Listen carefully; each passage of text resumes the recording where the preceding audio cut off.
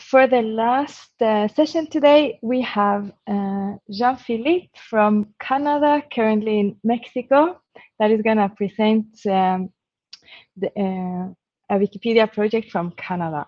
Uh, he was supposed to be joined by uh, Benoit Rochon, but he will not be here because he is getting his vaccine, which is something we have seen in several people um, in this conference. So I guess it's um, it's a very interesting uh, thing. Okay, uh, Jean-Philippe.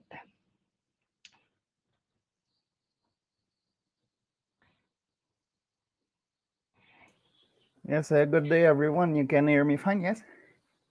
Very fine. Okay, so as uh, as she said, I am Jean-Philippe Béland, and I'm from, uh, I work with Wikimedia Canada. And today I'm here to talk about the project that we've been leading with uh, the Atikamekw First Nation. I will share.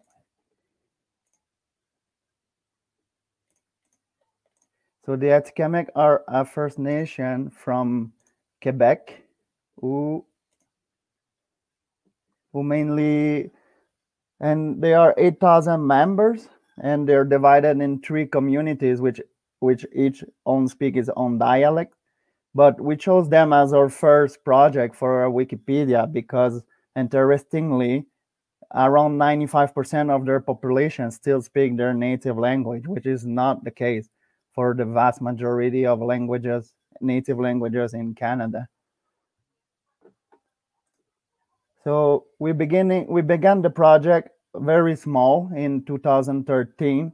It, I was approached by um, a linguist, a German linguist, interestingly, who was doing a, a research thesis in Canada with the Atikamekw, and the computer class teacher of the high school, local high school in the Atikamekw community of Manawan. And they wanted to write make the students write on wikipedia in their language. So I, obviously i jumped on the occasion.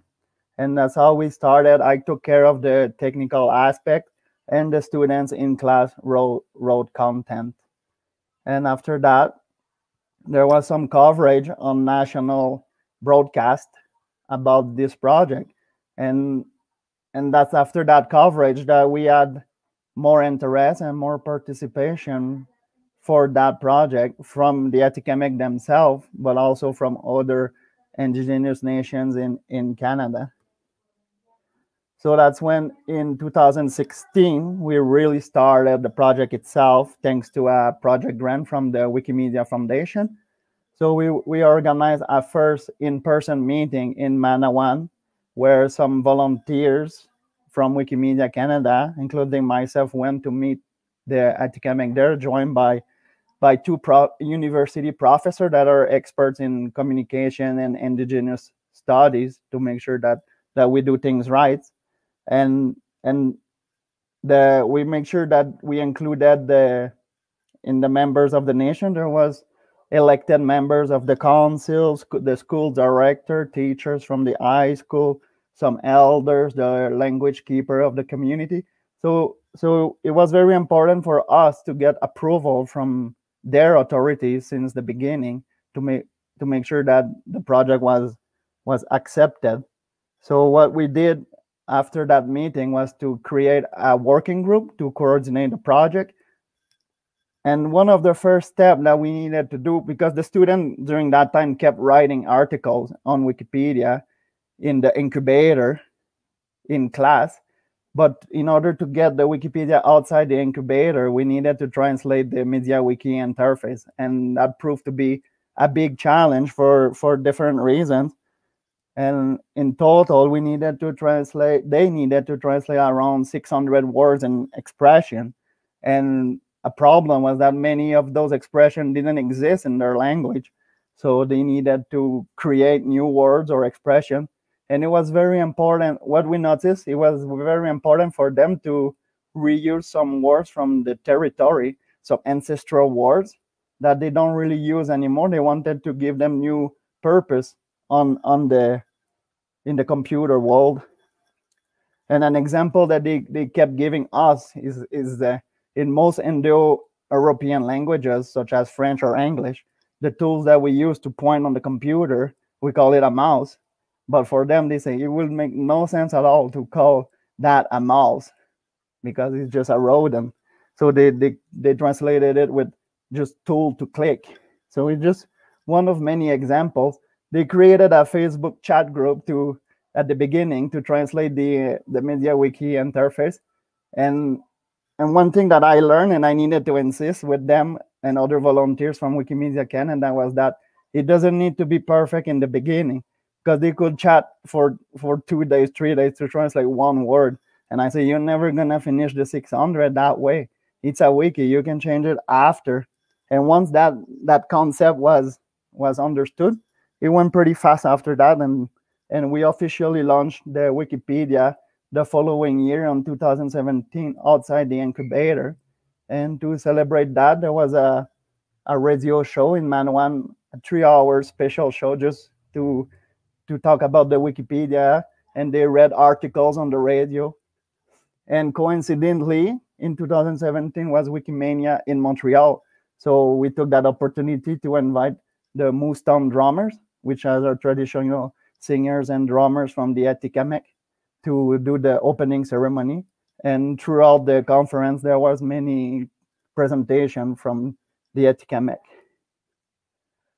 An interesting thing that we found out during that project that we didn't really expect as as Wikipedian was that the project was very intergenerational collaboration because the youth, although they, they still speak the Atikamekw language, they don't really know how to write it properly because they use I guess it's like not in many languages they use the chat on Facebook or the SMS and and they they do also a lot of creolization with French, so they don't really know how to write properly.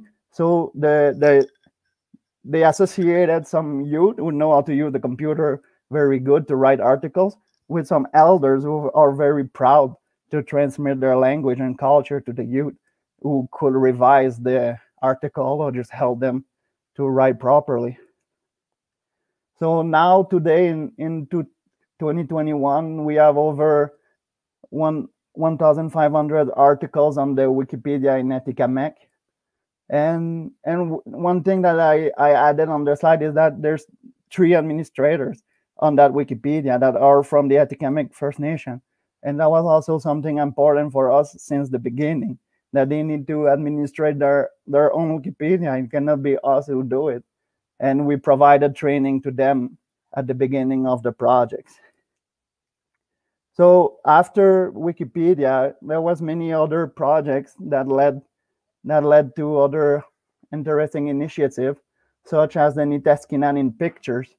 The one thing that the the Atikamekw mentioned since the beginning when they were writing their Wikipedia is that they didn't have any very good images, or they complain about the pictures about their themselves on the other Wikipedias in French or English.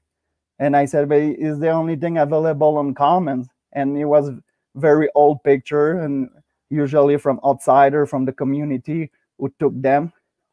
So we organized a contest to take pictures for the first time in 2017.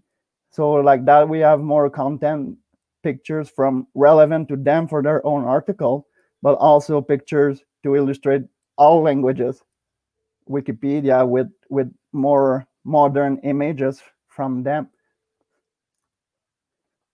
Also, during the Wikimania in Montreal, there was another project that we started to digitize archives from Bibliothèque et Archives Nationales du Québec, the National Archive of Quebec, because they had a fund about the a First Nation in, from northern Quebec, and the pictures, the negative were being oxidized and they were being lost, and the archive didn't have the resources to to scan them or take care of them properly.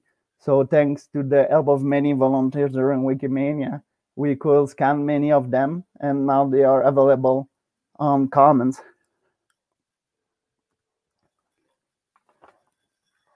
Another after that, it led to another project locally in Manawan, also to scan pictures, where the the local wiki club organized some evenings where they invite the population to come and scan their own family pictures.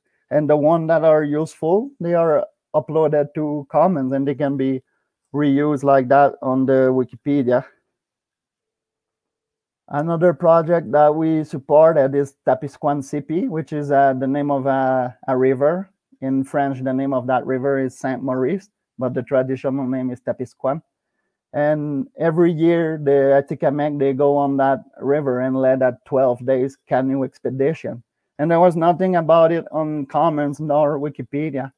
So in 2019, we provided a micro grant to document it. And as such, we there was more than 300 pictures and video uploaded on Commons. And also there was a Wikipedia article created about the expedition itself on the Atikamekw Wikipedia. We wanted to create this, the equivalent in English and French, but we were unable to do so because of the eligibility eligibility criteria on those Wikipedia are more restrictive because there's no written sources about that expedition. So we couldn't create their articles in English and French. And more recently, this year, the the Atikamekw they got they got a funds from there was a documentary called Les Six Saisons Atikamekw, which means the six Atikamekw season because the Atikamekw indeed have six seasons instead of four like like most of us. And during that that the, the filming of the documentary, the filmmaker took many pictures. So now we have access to those pictures which are in the public domain. So we added them to Wikimedia Commons, and we are organizing, um, we're documenting them in order to make sure that they can be reused on Wikipedia and elsewhere. So to identify what is on the pictures. Another interesting project that I'm sure already been talked about during this conference is Lingua Libre, which is developed by Wikimedia France and that we can use to record the language, the words, I mean. So in Canada, we use it to record words in indigenous languages. And obviously, we started with the Atikamekw language. And now there are over 500 words that we were we recorded during Wikimedia in Montreal. We started, but after we, we did other sessions in Manawan. And those recordings are being reused on Wikipedia, the Wiktionary, and the Wikiversity. As an example here, there's the an introduction to Atikamekw language class that I created on the French Wikiversity, which use all the file, many files from Lingua Libre, so we can you can hear the words. Another thing that that I want to mention is the the governance. Since the beginning of the project, we we made sure that the Atikamekw First Nations were leading their own projects, and that led to other other groups. For example, in 2018, we found the Wikimedia of North American Indigenous Languages was created and officially recognized, and that that goal is just to expand the Atikamekw project to other indigenous languages in Canada and the US. Uh, we also created, they also created a wiki club. The wiki, um, I will butcher the name, but I don't know how to pronounce it properly, but the wiki club Metapek Keka, which is the traditional name of Manawan.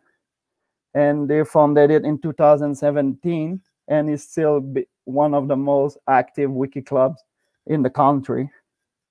And then here the, on the right, you see the picture of uh, Thérèse Ottawa, which is the one of the coordinator of the project from the Atikamekw community of Manawan since the since 2016, and she was elected to the board of directors of Wikimedia Canada uh, last year. So like that, we ensure that the when we lead indigenous projects or collaborations, that that we have some input from from their perspective and she was also part of the programs committee of Wikimedia Canada even even before that.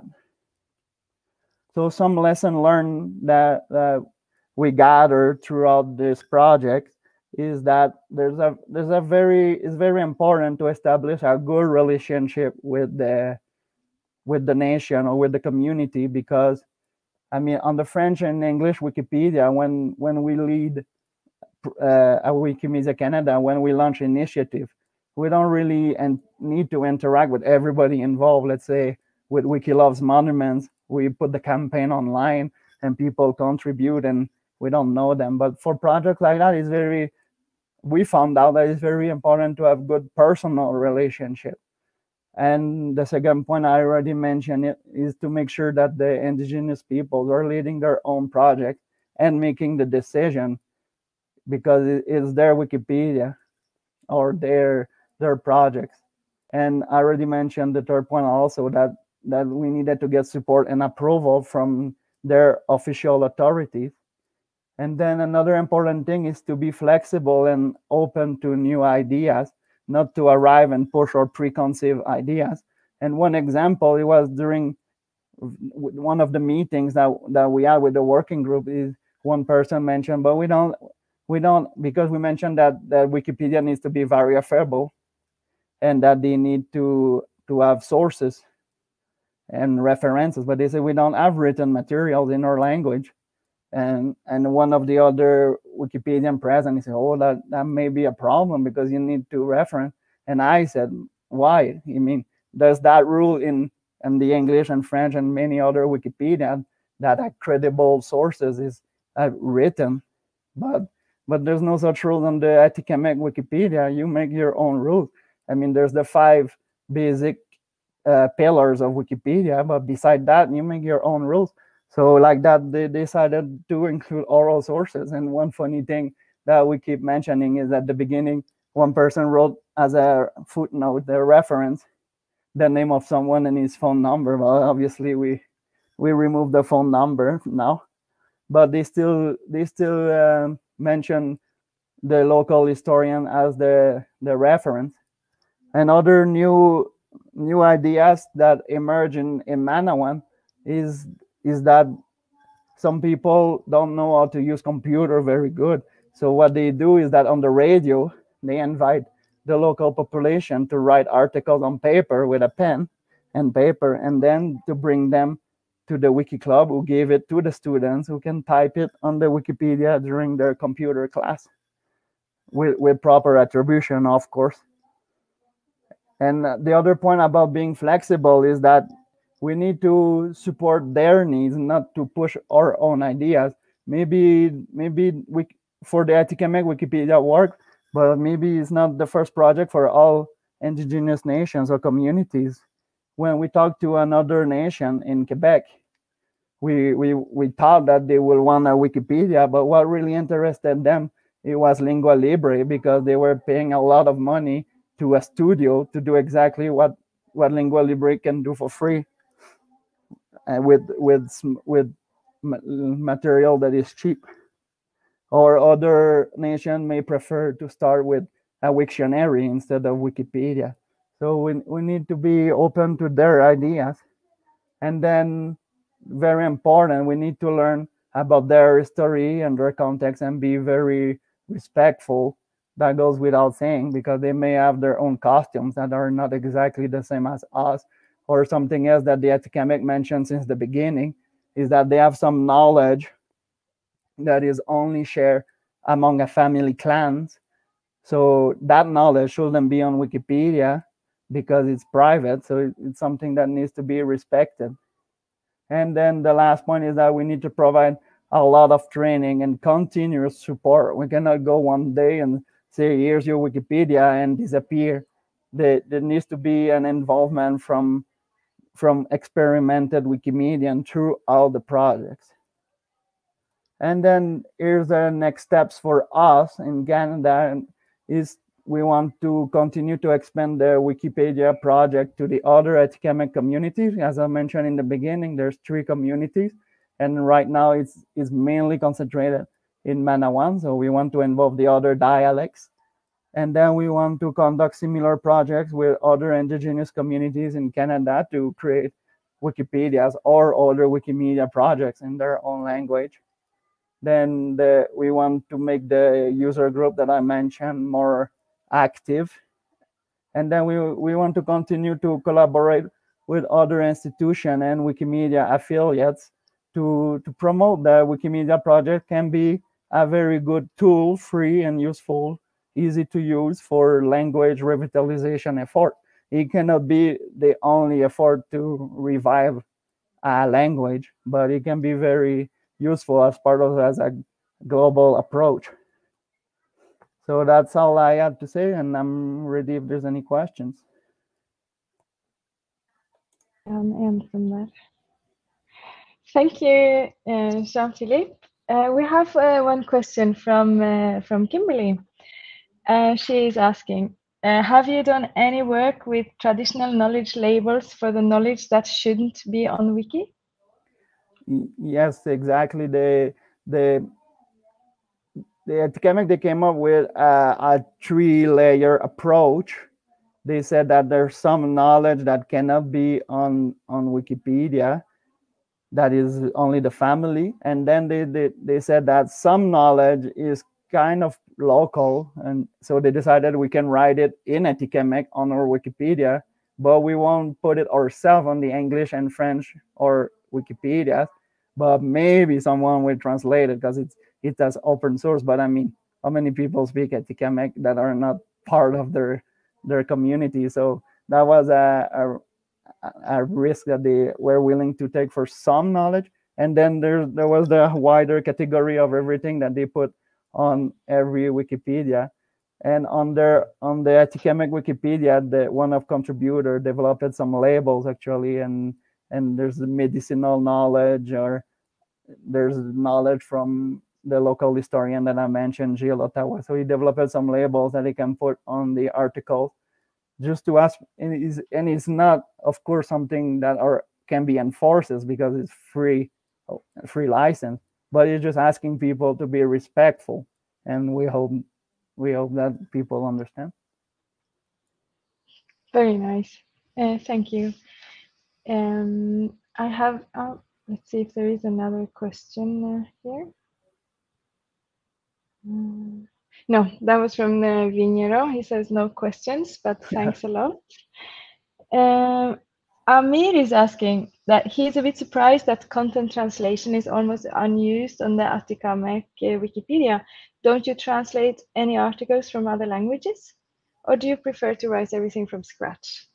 Yeah, it's, I, the tool is not being used. That's true, and mainly that's because they are the articles are written by the students in class and they're developed from scratch and that's another thing that I, I I wanted to mention maybe in the be open to new ideas. The way that we structure knowledge in in occidental world may be different to the way that they structure language in indigenous communities. Or maybe the wikipedia page with introduction and all the sections and all the way that, that we do it is not the same way that they want to do it on their Wikipedia, which which the content translation cannot do because it translates section by section.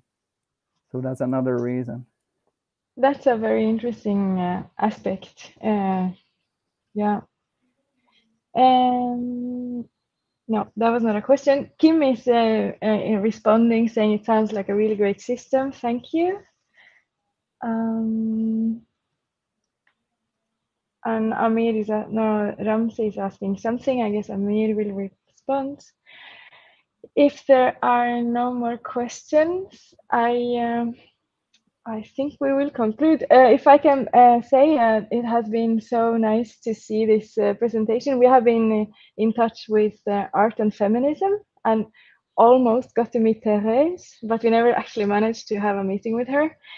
Um, but it's it's very nice to finally see like the whole um, overview of the work that has been done. It's very useful for us in our work, and I see it's uh, many others um, many others respond the same. So thank you very much, Jean-Philippe.